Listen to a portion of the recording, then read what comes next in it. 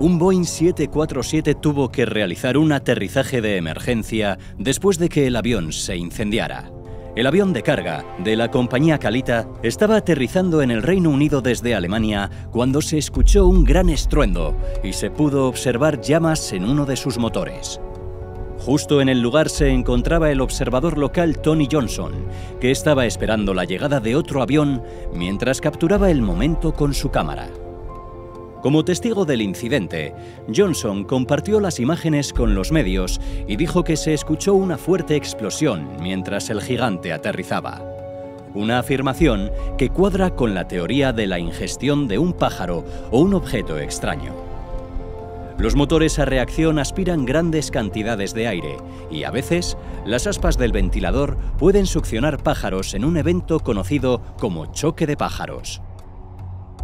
Afortunadamente, los motores a reacción modernos están diseñados para poder digerir estos objetos sin causar grandes fallas en el motor. Número 9. El Southwest Airlines 1248 estaba aterrizando desde Baltimore cuando se salió de la pista durante una tormenta de nieve. El avión aterrizó en la pista pero no pudo frenar a tiempo y atravesó una valla protectora y luego una valla perimetral hasta detenerse en la intersección de la calle 55, fuera de la propiedad del aeropuerto. El gigante se detuvo justo encima de un vehículo con una familia de cinco personas en su interior. La razón de la colisión fue que los pilotos no usaron el empuje inverso de manera correcta para reducir la velocidad y detener el avión después del aterrizaje, lo que produjo un desbordamiento de la pista. Número 8. El Douglas DC-3 ascendió unos 900 pies de altura y entró en un giro brusco a la izquierda antes de descender gradualmente y aterrizar de nuevo en la misma pista, cuatro minutos después del despegue.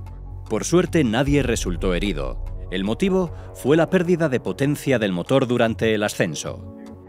El avión cayó a tierra con el tren de aterrizaje aún sin desplegar. No obstante, los testigos dijeron que nunca habían visto un aterrizaje de emergencia tan tranquilo como ese. Número 7. Un avión de carga DHL se estrelló en el Aeropuerto Internacional Juan Santamaría, en Costa Rica. El Boeing 757-200 se dirigía a Guatemala cuando sufrió una falla en el sistema hidráulico, lo que provocó un aterrizaje de emergencia minutos después del despegue. La tripulación notificó al control aéreo de problemas mecánicos y solicitó realizar un aterrizaje de emergencia en el mismo aeropuerto. Todo fue bien, pero segundos después del aterrizaje, el avión hizo un giro brusco y se partió en dos. La cola del avión se desprendió y un ala se rompió los servicios de emergencia usaron espuma para evitar un derrame de combustible y construyeron una barrera de tierra para mantener el combustible fuera del sistema de drenaje. DHL informó que piloto y un copiloto, los únicos tripulantes a bordo, resultaron ilesos. Número 6. Un Boeing 737-200 de Aerosucre, Colombia, realizaba un vuelo de carga desde Mitú con destino Colombia. Minutos después del despegue, el avión tuvo que regresar a Mitú y realizar un aterrizaje de emergencia en la pista 20, debido a que la puerta principal se abrió durante el vuelo. La puerta permaneció unida, pero completamente abierta durante casi todo el vuelo. El capitán Julio Consuegra fue despedido cuando intentaba evaluar los daños en la aeronave. El director fue Fernando San Clemente, el mismo que después fue embajador de Uruguay, y se descubrió que tenía tres laboratorios de cocaína. Número 5. Las fallas en los motores de los aviones ocurren casi todo el tiempo. El vuelo 328 de United Airlines marchaba de Denver a Honolulu cuando sufrió una falla importante en el motor poco después del despegue. El Boeing 777-200, con un total de 240 pasajeros a bordo, sufrió un incendio en su motor derecho. Sucedió poco después del despegue y los escombros cayeron del cielo sobre distintos suburbios de Denver. Gracias al excelente trabajo de los pilotos, el avión aterrizó de nuevo en Denver poco menos de 20 minutos después de su despegue. Y afortunadamente, nadie salió herido. Un giro interesante de la historia es que el avión de reemplazo que United usó para estos pasajeros fue un 777-200 que ya había sufrido un incidente muy similar hace unos años. Debido a ello, se presentó una demanda colectiva contra United Airlines. Número 4. Un Boeing 737-800 de la compañía Royal Air Maroc operaba un vuelo doméstico desde Casablanca a Ouda, pero aterrizó inmediatamente después del despegue, a causa de un resplandor de fuego en uno de sus motores. La tripulación aplicó empuje inverso y detuvo la aeronave en la pista lo más rápido posible. No hubo heridos. La aerolínea no comentó nada sobre el incidente, ni tampoco la Autoridad de Aviación Civil de Marruecos. Hasta el momento se desconoce si la aeronave fue evacuada o si los pasajeros desembarcaron por las escaleras. Número 3. Un Airbus A320-200N de la compañía Spirit Airlines se disponía a realizar un vuelo desde Nueva Jersey a Fort Lauderdale, con 105 pasajeros y 7 tripulantes a bordo pero durante la aceleración para despegar desde la pista 31, la tripulación rechazó el despegue y avisó al control del impacto de un pájaro contra uno de sus motores.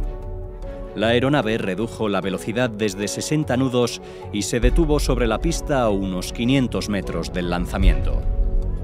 La torre preguntó si la aeronave necesitaba ayuda, a lo que la tripulación respondió pidiendo una evacuación de pasajeros, de acuerdo a los procedimientos operativos estándar.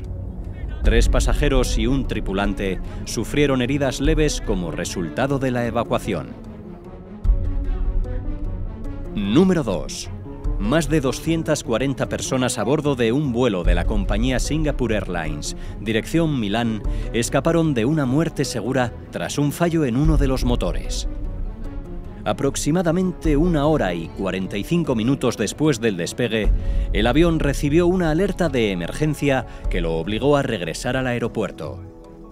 El capitán informó de una pérdida de aceite en el motor, y decidió regresar a baja velocidad y potencia al aeropuerto del que había partido. Durante el aterrizaje, el aceite se filtró a lo largo del ala derecha y toda ella junto con el motor comenzó a incendiarse. Los pasajeros tuvieron una agonizante espera de cinco minutos hasta que llegaron los bomberos y rociaron de espuma y agua el avión. El fuego fue sofocado en cinco minutos y en las fotos se puede ver cómo quedó el ala, ennegrecida y derretida por las llamas. Número 1. Para momentos de terror los que vivieron los tripulantes de este Boeing 767 de UPS, que se incendió parcialmente tras despegar del aeropuerto El Dorado, en Bogotá, Colombia. El incidente provocó el cierre temporal del espacio aéreo ante el llamado de auxilio de la tripulación a la torre de control. A pesar de todo, los tripulantes se vieron obligados a permanecer en el aire durante aproximadamente una hora. Mientras tanto, el piloto debía estabilizar el avión y ganar tiempo hasta que el personal de la vía aérea despejase la pista para el aterrizaje. Por su parte, las autoridades de la Aeronáutica Civil de Colombia detallaron que se trataba de una aeronave de carga con rumbo a Estados Unidos y que el incidente se debió a daños en el motor. De igual forma, informaron que la carga que transportaba y la tripulación no sufrieron daño alguno.